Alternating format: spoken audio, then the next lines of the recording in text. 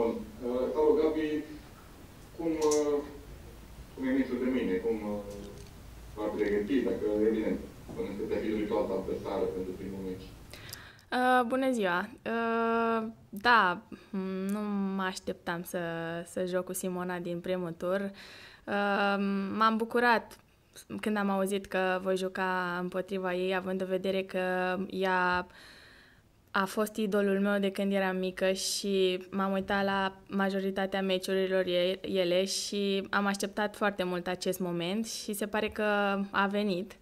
Uh, voi încerca să dau tot ce e mai bun. Uh, Simona este o campioană, uh, este jucătoarea mea favorită.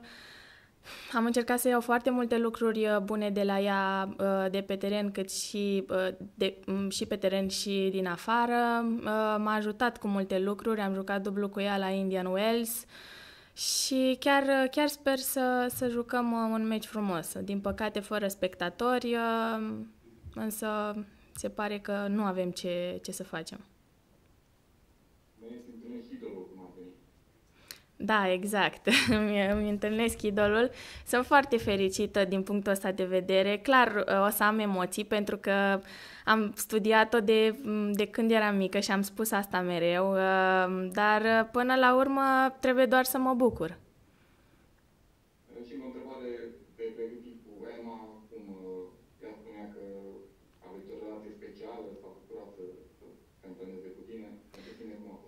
Uh, da, uh, Emma mi este prietenă, este o fată extraordinară.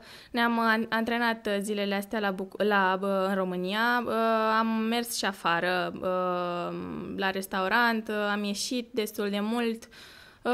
E o fată foarte drăguță și avem o relație, o relație specială. M-am bucurat foarte mult pentru rezultatul ei de la US Open. Și ce să zic, îi urez, foarte, îi urez mult succes în continuare și sper că de curând să jucăm dublu împreună.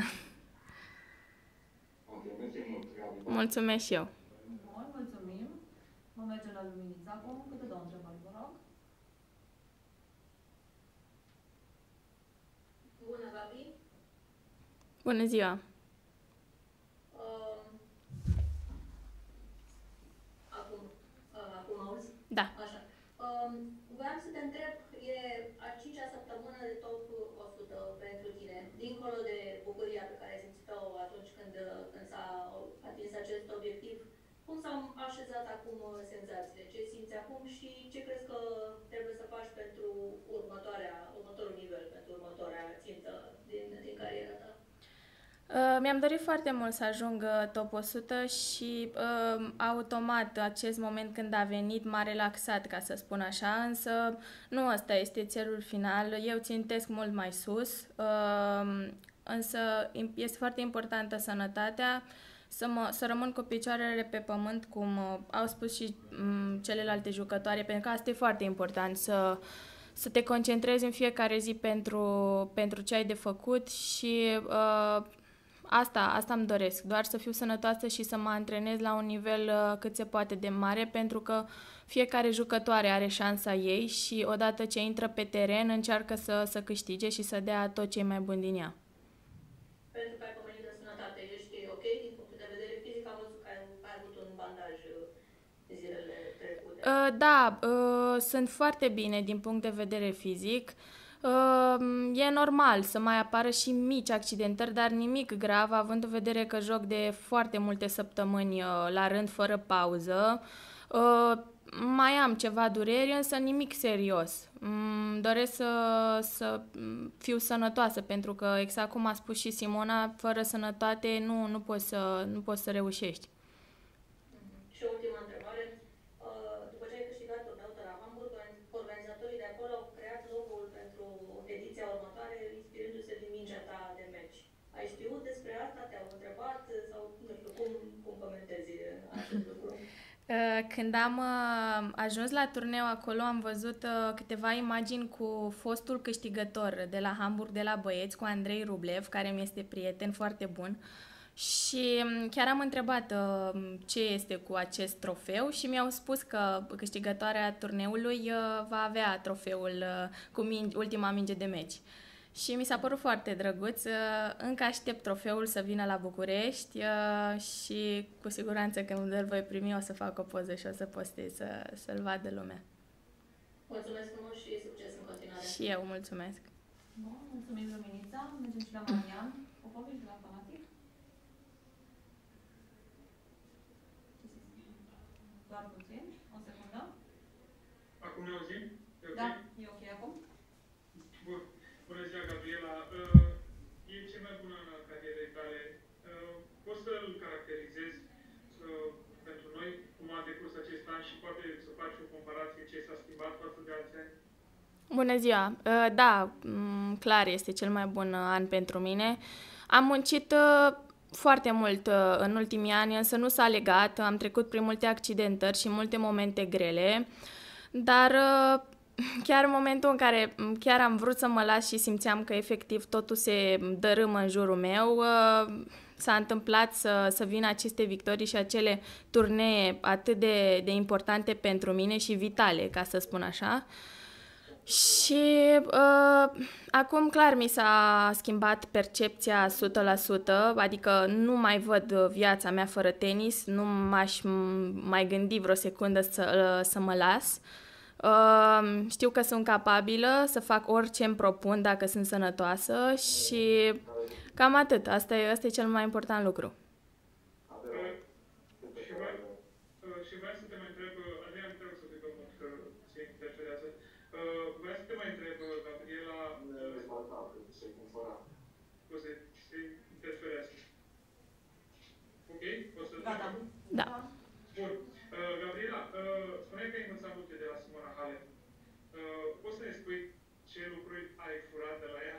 Să zic așa, nu știu, lovituri în teren și în afara terenului, că spuneai și în afara terenului că uh, ai, ai văzut niște lucruri interesante pe care ai încercat să le, să le înveți. Pentru mine faptul că Simona uh, m-a acceptat și m-a vrut la antrenamente în ultima perioadă a fost uh, clar un bonus pentru că intensitatea antrenamentelor ele, ei mi-au fă, m-au făcut să mă gândesc că uh, mă antrenam destul de slab, ca să spun așa, uh, și ținteam la niște rezultate fără să mă antrenez uh, atât de sus. Um, clar, am încercat să fur uh, m, și din jocul ei, cu toate că nu avem chiar un stil asemănător. Uh, mi-am îmbunătățit jocul uitându-mă la ea uh, și mentalul, pentru că este o jucătoare cu un mental foarte puternic. Uh, este foarte important să nu o enervezi pe teren, pentru că dacă o enervezi pe teren, uh, scoate, cum spun eu, acel demon, uh, când uh, efectiv nimeni nu mai crede. Și uh, da, astea sunt lucrurile pe care le-am furat de la ea. Și îi- îi mulțumesc, îi mulțumesc foarte mult pe această cale că uh, am putut sta pe lângă ea, am crescut uitându-mă la ea și, uh, clar, uh, ce pot să spun, doar cuvinte de laudă către, către Simona Mulțumesc mult și mult succes! și eu. Bun. Um, Anisandu de la Europa FM, dacă are o întrebare. Dacă nu mergem la Ramona Toderaș. Uh, Bună, Gabi. Bună. Uh, întrebarea mea către tine este, uh, a- crezi că ai putea să o învingi pe Simona în meciul de mâine și dacă da, ce ar însemna acest lucru pentru tine? Uh, Păi, cred că dacă nu aș crede în mine, n-ar mai trebui să mai intru pe teren. Uh, Mă antrenez de foarte mulți ani pentru acest moment. Nu vreau să pun absolut deloc presiune pe mine. Uh, rez- uh, Rezultatul până la urmă nici nu contează. Uh, În mod normal, Simona e favorită clar pe hârtie, indiscutabil. Însă eu ce pot garanta este că voi încerca, chiar dacă voi avea me- emoții, sunt sigură de lucrul acesta, pentru că nu e ușor să joci cu idolul tău pe teren. Um, doar vorbind despre, despre lucrul ăsta mă emoționez. Um, sunt sigură că amândouă vom încerca să, să jucăm un tenis frumos. Și încă o întrebare, cum vezi lipsa spectatorilor la meciurile de la turneu? Mulțumesc. Pot să spun că cred că pentru mine este un, uh, un atu sau un avantaj pentru că mie mi-e foarte greu să joc acasă. Uh, mereu și la Fed Cup am fost foarte emoționată, mi-au trebuit multe săptămâni să-mi revin după uh, și mai ales la un astfel de meci când îți întâlnești idolul, nu știu dacă publicul m-ar fi ajutat, cred că m-ar fi inhibat și mai mult de emoții. Uh, dar îmi pare rău pentru turneu pentru că Clar, uh, era foarte frumos ca oamenii uh, să vină să ne susțină, să ne vadă, să vadă o campioană ca Simona, să vadă o campioană ca Emma și pe noi uh, celelalte românce, că până la urmă și noi suntem viitor, urmăm și ceea ce a făcut uh, Simona și Emma este do- sunt, sunt doar un exemplu uh, și eu, clar, îmi doresc să ajung și eu ca, ca și ele, la nivelul lor. Mulțumesc, mult succes! Și eu, mulțumesc! două întrebări, te rog, Ramona. Doar o singură întrebare. Uh, aș vrea puțin să uh, îmi spui dacă ai anumite lucruri la care ai vrea să lucrezi în off-season și câteva, două, trei obiective pentru, pentru următorul sezon. Bună. Ă, da, clar, sunt foarte multe lucruri de îmbunătățit și asta mă, mă face destul de fericită pentru că dacă ajungi la nivelul ăsta și îți dai seama că încă mai sunt o grămadă de lucruri de îmbunătățit, ă, cred că asta este excelent. Ă, cred că mai e de îmbunătățit și pe plan fizic, și pe plan tehnic, și pe plan mental. Asta rămâne să, să discut cu antrenorii mei, cu echipa mea, uh, dar ce pot să vă spun este că în momentul de față eu țintesc pentru, pentru top 50 și de acolo vom vedea. Importantă e, e sănătatea. Mersi.